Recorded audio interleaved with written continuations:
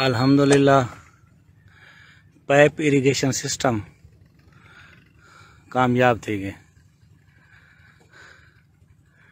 बड़ा बेहतरीन है बड़ा आसान है।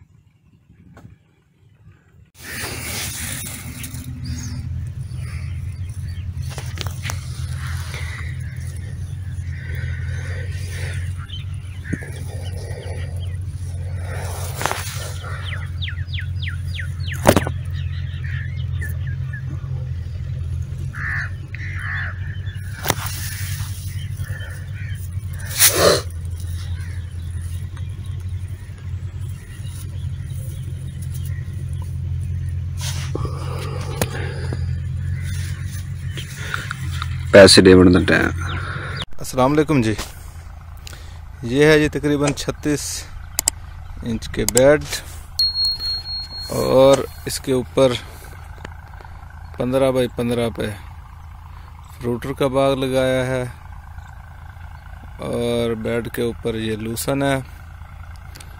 लूसन को छट्टा देकर और इब्तदाई तौर पर ज़मीन क्योंकि रेतली है?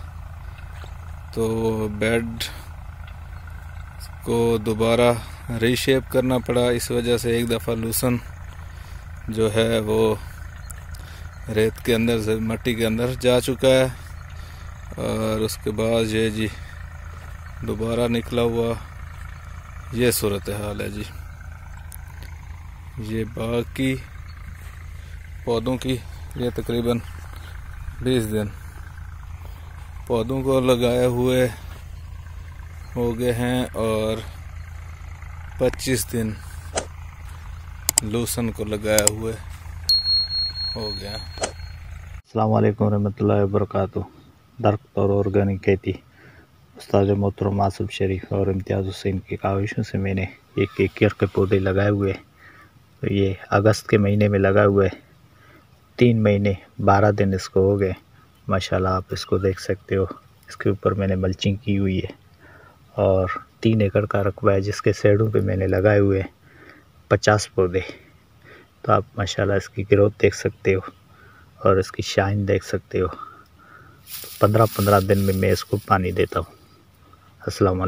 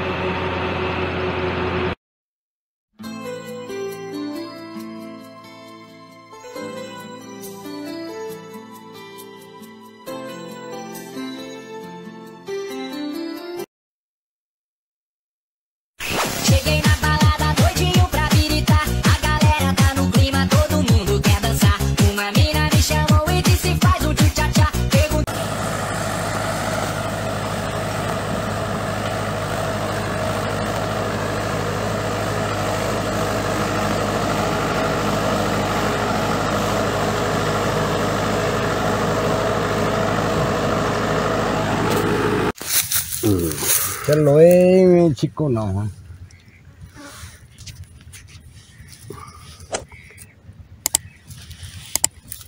ये बनने तो ख्याल ना बाबा सारा थूम लगा खड़ा है। जी हाँ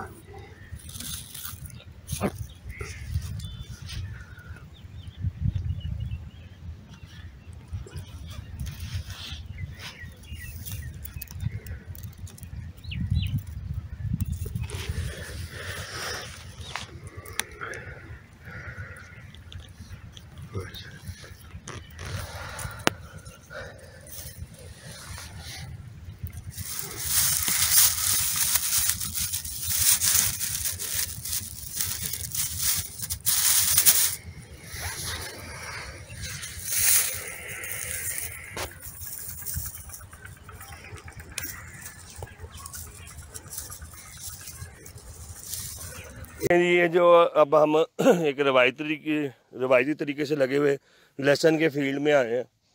और यहाँ आप देख सकते हैं, लहसन की जर्मिनेशन हुई हुई है। लेकिन मेरे ख्याल के मुताबिक, ये देखें, ये पौधा इस पौधे के साथ, इस पौधे के साथ, ये देखें, उंगली भी नहीं गुजर सकती।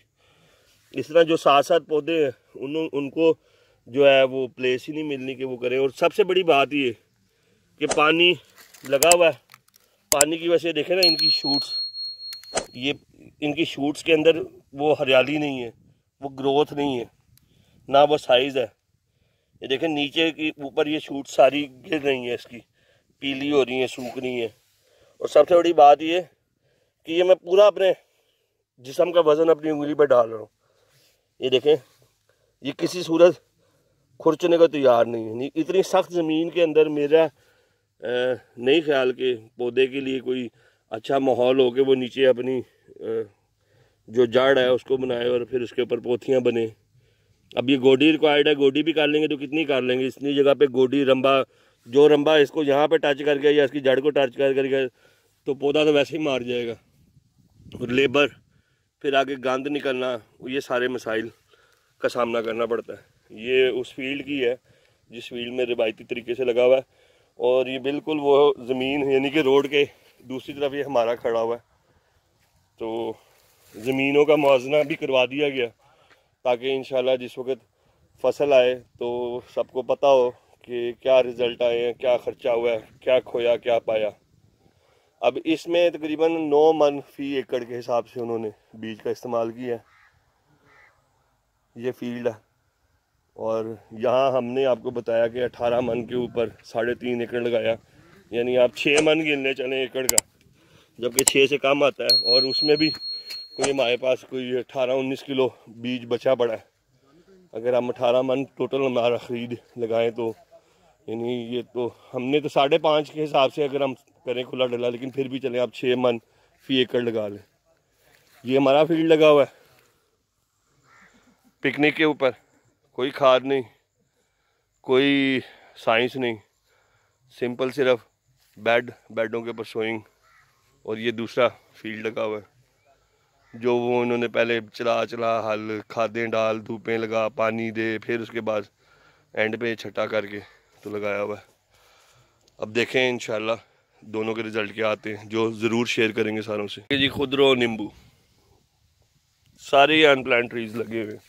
कोई प्लानिंग नहीं की गई, इनको सिर्फ़ बस लग गए और माशाल्लाह सब कुछ उठा रहे हैं। कोई स्प्रे कोई प्रूनिंग है, कोई खादें, कुछ भी नहीं। ये हाँ ये भी। जी। वीडियो में क्लियर हाँ जी, ये देखें इंजीर लगी हुई है, माशाल्लाह से। ये रेड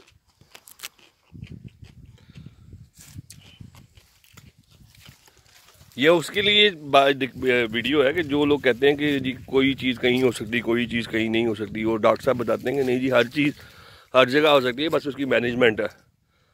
तो ये उन लोगों के लिए कि देखें, अंजीर भी ठंडे इलाके की है, ये अनप्लैंड ट्री लगा हुआ है, और इसके ऊपर माशाल्लाह फल है। नाला खुर्द और एल वन गाँव है जी, और ये एक अनप्लैंड ट्री लगा हुआ है, उसका इंजीर का।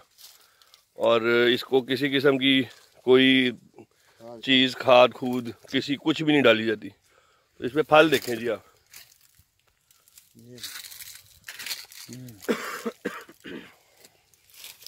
थोड़ा सा पौधा देखें किसकी कितनी है।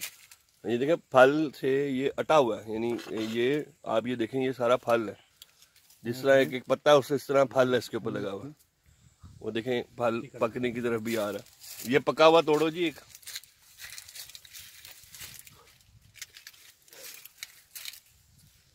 ये वैस साहब ने तोड़ा है जी।